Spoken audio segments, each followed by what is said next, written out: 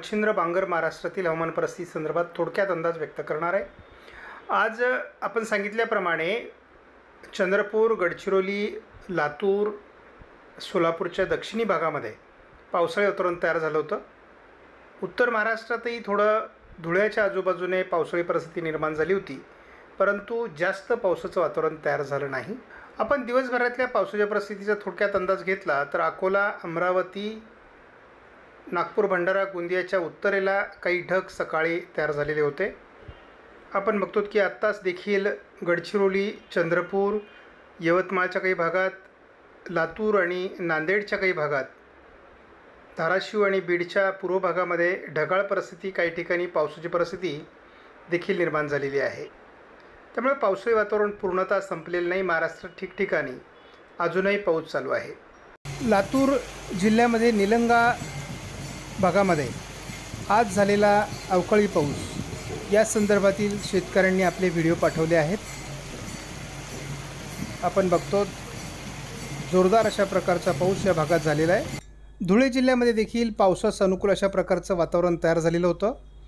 मेघगर्जनेसह वातावरण निर्मिती झाली परंतु फारसा पाऊस धुळे जिल्ह्यात झालेला नाही. धुळे जिल्ह्यातील आणखी एक व्हिडिओ आपल्यासमोर आहे. कशा पद्धतीने आजूबाजूने ढगाळ परिस्थिती विजांचा कडकडाट आणि पावसाळी वातावरण तयार झालं होतं परंतु फार पाऊस या भागात पडलेला नाही. उद्या देखील मराठवाडा विदर्भात पावसाची शक्यता तेवीस तारखेला जी एफ एस मॉडेलने व्य- व्यक्त केली आहे. हे अंदाज पुणे हे अंदाज पूर्णपणे सत्यात येत नसले तरी काही अंशांनी या ठिकाणी पावसाळी वातावरण तयार होत आहे. विरळ स्वरूपात ढगाळ परिस्थिती चोवीस तारखेला राहील परंतु पावसाचा प्रभाव महाराष्ट्रातला बऱ्यापैकी कमी होण्याची शक्यता आहे. आपण संध्याकाळच्या व्हिडिओमध्ये केवळ तीन दिवसाचा अंदाज बघतो. पंचवीस तारखेला देखील मराठवाडा पश्चिम महाराष्ट्रात ढगाळ परिस्थिती हलक्या स्वरूपाचा पाऊस असण्याची शक्यता आहे.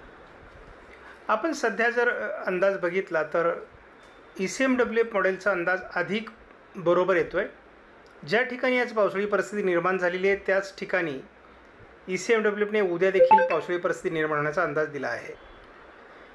चोवीस तारखेला विदर्भ आणि मराठवाड्याच्या दक्षिणी पट्ट्यात थोडं पावसाळी वातावरण राहील असा अंदाज आहे. पंचवीस तारखेला विरळ ढगाळ परिस्थिती महाराष्ट्रात जरी राहिली तरी पावसाचं प्रमाण बहुतांश उघडलेलं असेल. त्यामुळे फार पावसाचा प्रभाव आता महाराष्ट्रात राहिलेला नाही.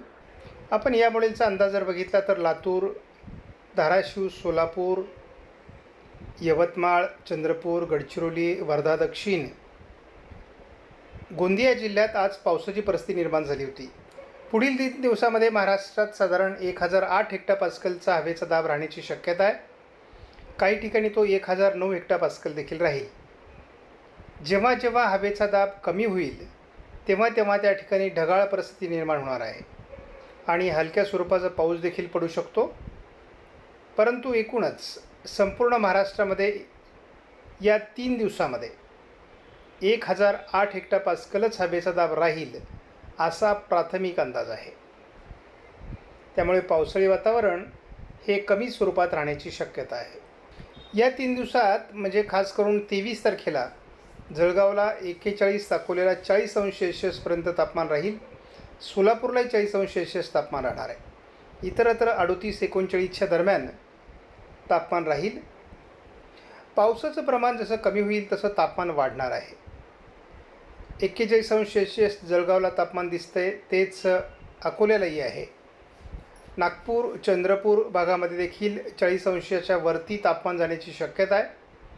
नांदेड एकोणचाळीस तर सोलापूर चाळीस इतरत्र एकोणचाळीस अंश सेल्शियस तापमान राहण्याची शक्यता आहे.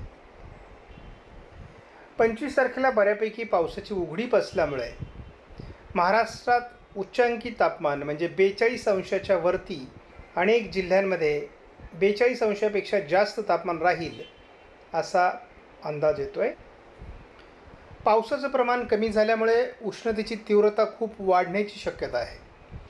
त्यामुळे महाराष्ट्रातील बहुतांश जिल्ह्यांमध्ये बेचाळीस वर तापमान जाण्याची शक्यता असून चंद्रपूरला त्रेचाळीस अंश सेल्सिअस तापमान हे सव्वीसला राहणार आहे.